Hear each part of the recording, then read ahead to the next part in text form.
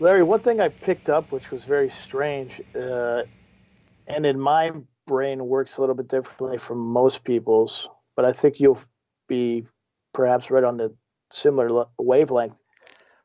There was a complaint in there from Devlin Barrett from the Washington Post who was bitching to the special counsel's office, and he's saying, Hey, I called you guys yesterday for a quote on my story. I debriefed you on what I was working on, and I was we're we're at the Washington Post was holding the story, awaiting some type of a comment or no comment from you. And here I find out that the same story ends up in a competitor's newspaper less than you know x amount of hours later before the special counsel got back to him so here's a guy who who, who had a scoop and he got scooped so i'm thinking wait a second you're talking about leaking to the media this is a little bit more sinister if this is set up as an intel operation where if I have if I'm working for XYZ newspaper and I contact these guys and say, "Hey, I got this got some stuff. I want to comment on it." Or what are they doing with the information? Are they setting up shop on the people that are um, might be able to to take Mueller out? Are they setting up shop and making that individual or that publication a target? Or are they contacting their friends at the New York Times and saying, "Hey, the right. Washington Post is breaking a story that says that says this you better get on it. I mean, it, it, there's all. It seems like there's a, there's all kind of strange things going on. Now, I asked I, I asked the special counsel. I asked Peter Carr about that today, and he said, "I don't." I said, "What's going on?" Barrett said, "You poached the stories, and you sold them out to a competitor." Like, what what do you have to say about that? And Barrett covered that both in an email and a text, where you're saying, "Hey, what am I telling you this stuff for if you're going to steal my stories? Basically, I am paraphrasing, but it's basically exactly says that. And Carr didn't said he said I, I, don't have any, I have no comment, which of course is what he was going to say. he said all, all the time, but it raises serious questions. Like not even the mainstream media is immune from the leaks. These guys are leaking to a select clientele. Yeah. Uh, and they're ratting out ratting out their colleagues. Yeah, I mean that, that's that's pretty much par for the course in the swamp of Washington D.C., right. where people are close to other people, where you know they go out, socialize with each other, and scratch each other's backs and, and do favors. There's another aspect of these emails which is extremely interesting and more than troubling. As I'm sure everybody knows, because I've talked about it on Crowdsource the Truth many times and elsewhere uh, on freedomwatchusa.org, on WND.com on Newsmax, is that I had a whistleblower. He prefers that I not use his name right now. He's not in good health. Who I took to the FBI, James Comey, through a federal judge, Royce Lamberth, and I got him immunity with a lawyer called Deborah Curtis, who was working in the U.S. Attorney's Office. And the two special agents assigned to this investigation, which was dealing with mass surveillance by James Clapper, John Brennan, CIA, the NSA, the FBI, uh, were William, G- William Barnett and uh, another individual by the name of Giardina. And these persons, including Curtis, were assigned to the Office of Special Counsel in the investigations of Russian collusion and obstruction of justice. This was Comey's inner circle. These are his henchmen, all three of them. So it goes on top of everything we know about Bruce Ohr, the Justice Department, Peter Strzok, Lisa Page, and there was even a text message that came out some months ago from Peter Strzok calling this investigation, excuse the French, bullshit. Uh, and it's not bullshit because the client had the goods on all of these intelligence agencies Comey, Clapper, Brennan.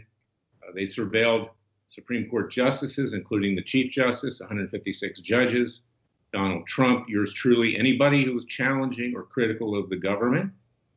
And this was buried. And now these people are working on the Mueller investigation, and we can see just in this particular instance what's been buried with regard to Freedom Watch and communications with the media. So no surprise here. But you know, everything that goes around comes around, and what's coming around looks very sinister.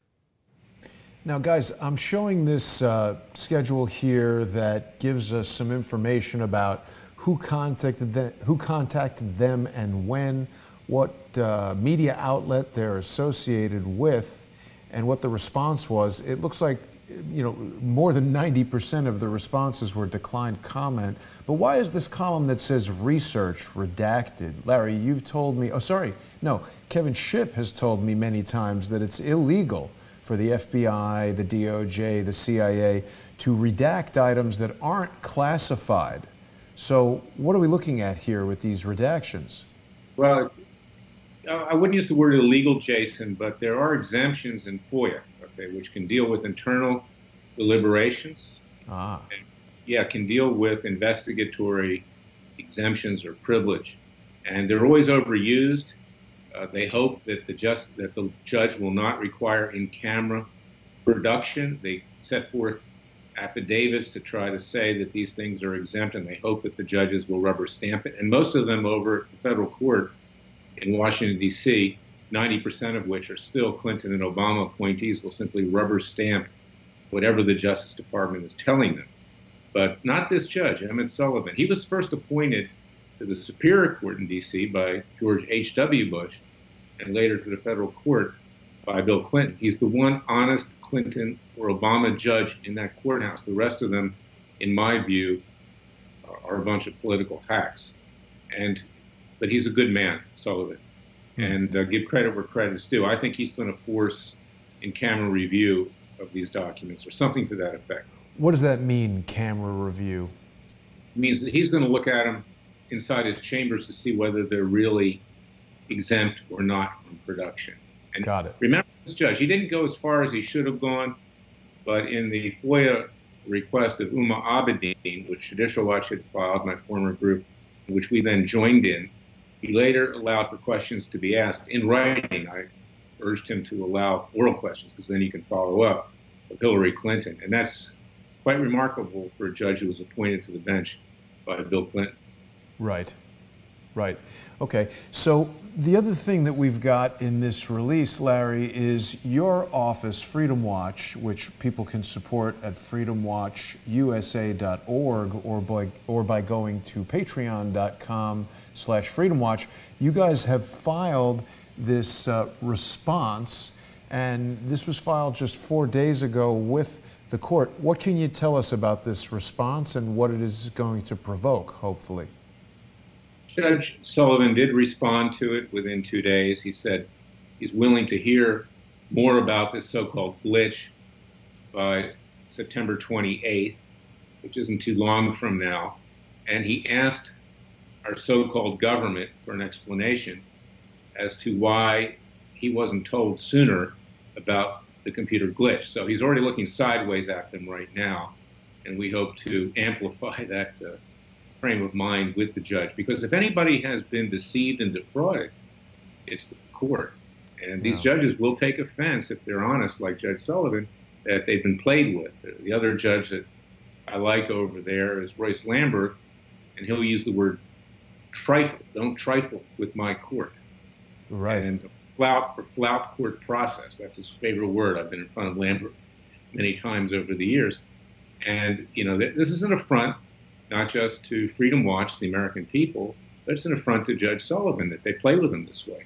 Yeah. And uh, I think he's going to put his foot down. He was the judge, by the way, uh, when I was running Judicial Watch in the late 90s, who ordered Vice President Dick Cheney to come clean on his energy task force, uh, which was holding behind the scenes closed door meetings with lobbyists hmm. over energy policy. Wow. And, you know, found out, this went all the way to the Supreme Court, this case. Right. And we found out that Cheney and, and the boys were dividing up the oil fields in Iraq before we invaded. That was one wow. of the great motives of George W. Bush and uh, Uncle Dick to invade. That's unbelievable. Interest, and then they didn't even get it. I mean, how stupid! How stupid is Trump pointed out. It's not a laughing matter, but you're right. It's outrageous, Larry. Now, the other thing that I've included in this release is uh, some of the emails between Joseph Dugan and yourself. I personally redacted the email addresses because I didn't think you wanted a million people emailing you necessarily. Of course, they can go to freedomwatchusa.org if they want to contact you or join the citizens' grand juries or anything like that. But in this email, it's very interesting to see the language Mr. Dugan has uh, selected.